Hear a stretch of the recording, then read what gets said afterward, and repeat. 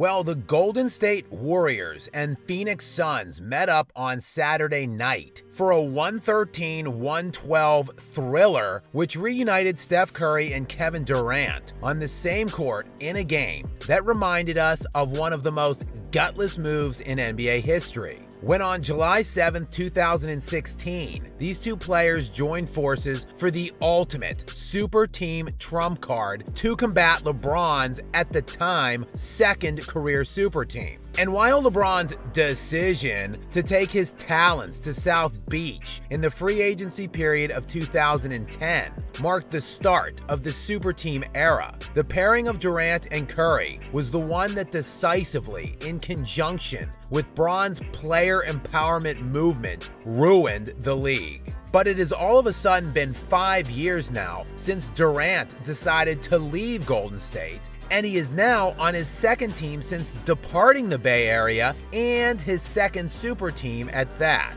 The Suns, following an injury riddled start to the season, were just 14 and 15 on December 26th and in the 11th spot in the West. But they have since been rolling with the health of Bradley Beal and the emergence of Kevin Durant and Devin Booker as the best scoring tandem in the league currently, with both averaging over 28 points per game. No other team in the NBA boasts a tandem of players who are both in the top 10 in league wide scoring, aside from the Suns. And since Christmas, Phoenix is 17 and 7 now, which has resulted in a jump from that 11th spot all the way up to 6. All the while, the Warriors have also been rolling right towards a toilet bowl. As they have been hot, steamy ass all season long. They entered this showdown with the Suns at just 24 and 25 for the year and barely hanging on to their placement in the play in tournament by a thread, just a half a game above Utah for the 10th spot in the conference. But Curry would shine in this one, tying the game at 110 with a running layup with under a minute to go. He then, with three seconds remaining and Golden State down 112 to 110, iced the game winning three point shot. And this game acted as a poignant reminder to us, me included, that despite Durant's statistical dominance in his three year stint with the Warriors and his back to back NBA Finals MVPs, that it is a pretty difficult case to make against the baby faced assassin as the true best player on those teams, the actual most valuable player, and the linchpin to the most dominant team we have seen in the NBA since Shaq and Kobe's Lakers over 20 years ago. And yes, Durant was the finals MVP during those title runs, and it is difficult to point to a single actual standard or advanced metric that doesn't confirm Durant was the better player on those teams. However, Kevin Durant missed 50 games during the regular season and playoffs in his time with the Golden State Warriors. In those 50 games, the Warriors had a win loss record of 36 and 14.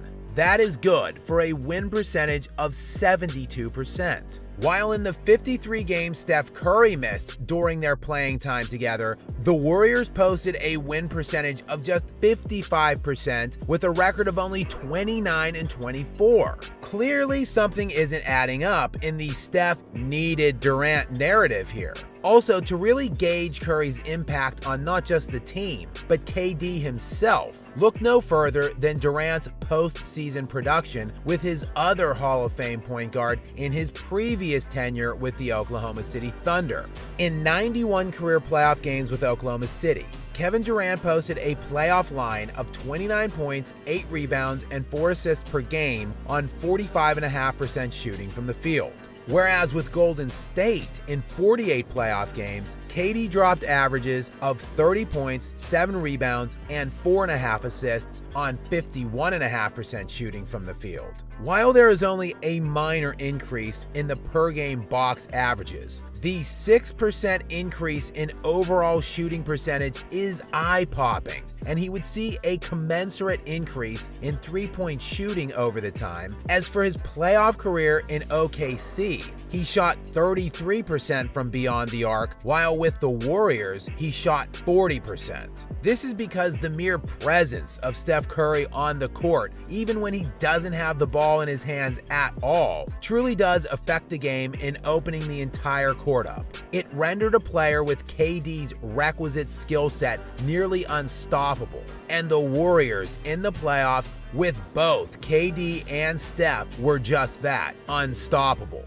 at least for any of the other teams in that cupcake era. In playoff games where Kevin Durant and Steph Curry were both on the floor, the Warriors posted a 33 9 record, good for an absolutely obscene 79% win percentage. They easily won the title both seasons these two guys finished a full playoff run together, and it easily would have been a three-peat, only the second one of this century, other than Kobe and Shaq, had Durant not ruptured his Achilles in the 2018 19 finals round. But in the playoffs, for his career outside of Golden State, Durant has just a 63 and 55 playoff record, a win percentage of only 53%. While Curry, without Durant in the playoffs, has a record of 66 and 39, which is good for 63% and Durant has made just one finals appearance ever without Steph Curry, a loss in the 2012 finals to the Miami Heat, with Curry making it to three finals in his career without Durant winning two of them.